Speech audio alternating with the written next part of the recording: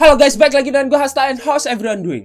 Gue harap kalian semua baik-baik aja. Kalau kalian semua lagi punya masalah atau kalian lagi punya kabar buruk, gue harap video ini bisa ngebuat kalian semangat sedikit. Kita melakukan vlog di sini, oke? Okay? Kita melakukan vlog. Jadi ada beberapa hal yang pengen gue omongin di sini. Yang pertama adalah bahwa channel kita sekarang sudah menyentuh 46.000 subscribers lebih. That's freaking cool. Itu benar-benar keren banget. Gue nggak tahu apa yang kalian lakukan, tapi itu benar-benar keren banget. Jadi setiap kali gue bangun terus ngeliat perkembangan channel ini itu benar-benar mind blowing banget, benar-benar di luar ekspektasi gue. Jadi perjalanan gue dari 0 sampai 46 ribu subscribers lebih ini sekarang itu adalah semua usaha kerja keras kalian. You guys are the best. Gue benar-benar gak tahu apalagi harus gue omongin, tapi gue mencoba untuk bilang terima kasih di setiap vlog yang gue lakukan dan kalian berhak untuk mendapatkan itu. Thank you guys, thank you so much, oke? Okay? Alasan utama gue ngebuat vlog ini adalah karena ada beberapa hal yang terlintas di pikiran gue belakangan ini, kurang lebih 3 atau 4 bulan. Gue nggak tahu tepatnya kapan, tapi gue pengen ngecoba untuk share ini ke kalian. Gue pengen ngecoba untuk bagikan ini ke kalian. Jadi kalian juga bisa ngeliat gue secara personal, kalian juga bisa ngeliat gue secara human element bahwa gue juga cuma manusia biasa sama seperti kalian.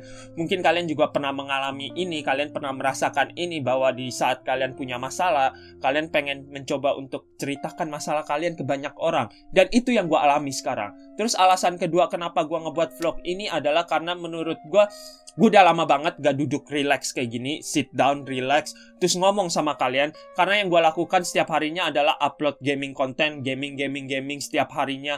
Dan itu terlihat sangat bosen banget. Jadi gue pengen coba untuk ngebuat vlog yang seharusnya gue lakukan tapi nggak gue lakukan. Jadi kali ini gue pengen coba untuk ngebuat vlog dan gue mencoba untuk bisa berinteraksi dengan kalian, bisa ngobrol sama kalian. Jadi kalian juga bisa ngeliat gue secara human, secara manusia biasa. Kalian juga bisa kenal gue lebih dekat seperti itu.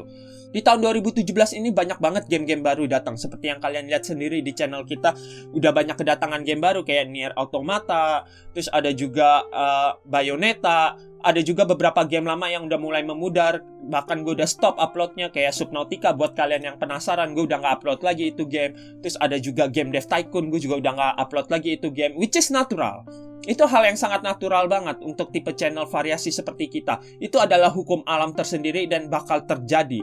Oke, itu kayak pergantian musim aja. Oke, kayak musim kemarau, terus berganti jadi musim hujan, terus ganti lagi jadi musim salju. Itu hal yang sangat natural banget. Oke, tapi yang menjadi masalah adalah di saat pergantian musim ini itu menjadi sebuah dilema tersendiri buat gue. Terkadang ada banyak pikiran yang lewat di otak gue langsung gue berpikir kayak oh no No, kalau gue harus ganti game ini nggak ada lagi yang bakal nontonin gue. Gue gagal di YouTube. Gue harus gimana? Gue harus cari game baru lagi kayak gitu. Itu itu menjadi sebuah hal yang dilema tersendiri buat gue. Gue selalu mendapatkan pemikiran seperti itu. Gue nggak tahu kenapa. Ini benar-benar ada di luar konteks YouTube gue. Oke, okay? pemikiran ini benar-benar ada di luar pala gue. Tapi jangan tangkap salah dulu, oke? Okay? Gue nggak ada maksud untuk berhenti YouTube. Jadi kalian jangan panik dulu. Dan kalian juga nggak salah. Ini hanyalah pemikiran gue yang terlintas di kepala gue yang pengen gue bagikan ke kalian. Pengen gue share ke kalian.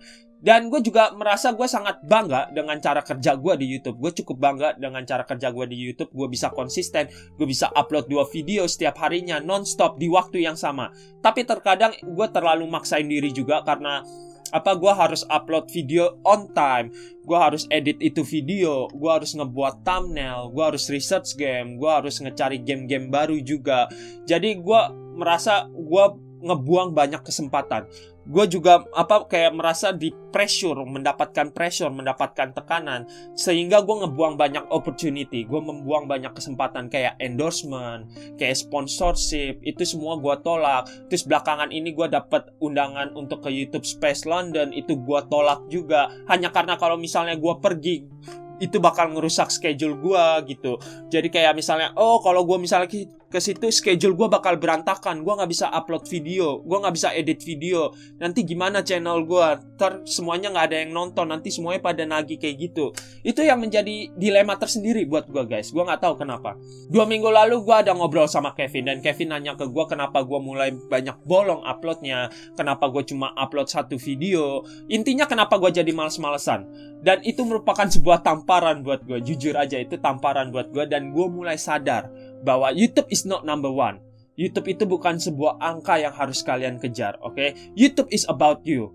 Apakah kalian senang ngedapetin semua konten yang udah gua kasih ke kalian? Oke, okay? apakah kalian ngedapetin video yang seharusnya kalian dapatkan? Apakah setiap video yang gua upload ke YouTube itu gua ada di situ? Gua hadir di situ, nemenin kalian sebagai teman, ngajakin kalian main, dan itu merupakan sesuatu yang harus terus gue pegang selama gue berkarir di YouTube. Gue harus selalu ingat itu.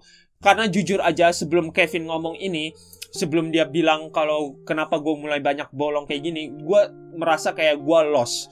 Kayak gue merasa gue apa kesasar gitu. Karena mungkin karena padatnya jadwal gue karena gue terlalu ditekan dengan banyaknya pressure gue harus upload dua video dua video dua video dan ngebuat gue kayak oke okay, gue upload satu video aja kayak gitu. Dan itu ngebuat gue kayak lost. Oke okay, gue kayak kayak perjalanan kita dari 0 sampai 46 ribu lebih sekarang itu kayak seperempat jalan kita kita lagi ada di hutan dan itu dipilih banyak apa banyak jalan gitu. Dan gue merasa kayak gue kesasar gue nggak ada kompas sama sekali. Dan ya thank you banget buat kalian semua untuk supportnya. Jujur aja kalian benar-benar nge-support gue sampai sejauh ini. Karena gue tahu YouTube itu adalah komunitas. Sekali lagi gue ngomong YouTube itu adalah komunitas. Dan kalian selalu nontonin gue setiap harinya. Dan gue mulai sadar bahwa setiap tindakan yang gue ambil itu dapat berubah dengan sangat cepatnya. Semua tindakan yang gue ambil itu bisa berubah dengan sangat cepatnya karena awalnya itu gue cuma pengen have fun di sini. Gue cuma pengen main game because because I love playing games. Setiap video yang gue upload ke YouTube itu bukan hanya sekedar gue teriak-teriak, bukan hanya sekedar gue have fun atau gue main game. Ternyata itu punya makna dan arti tersendiri untuk kalian semua. Gue bisa nge-entertain kalian, gue bisa ngebuat kalian tertawa, gue bisa ngerubah mood kalian, dan itu merupakan feeling yang gak bisa kalian ungkapkan dengan kata-kata. Dan itu merupakan tujuan awal gue ngejalanin ini YouTube. I don't know man, gue mencoba sebisa mungkin untuk ngejelasin apa yang ada di pikiran gue. Gue harap kalian semua ngerti, karena gue tahu kalian semua itu orang yang baik. Kalian semua orang yang nice, kalian baik sama gue. Kalian gak hanya baik sama gue, kalian juga baik sama yang lain juga. Dan itu adalah hal yang sangat susah untuk dilakukan dalam sebuah komunitas. Dan gue sangat bangga sama kalian. Kalian nge-support gue setiap hari, kalian juga nontonin apa pun yang gue upload ke YouTube gue tahu ada beberapa orang yang cuma nontonin gue karena beberapa game doang, tapi jujur aja 80% dari kalian itu semuanya orang baik. Orang nice, kalian selalu baik ke gue. Thank you guys, kalian adalah tempat yang paling bisa gue andalkan di saat gue pengen ngobrol seperti ini. Mungkin gue bakal akhirin vlog ini kayak gini aja.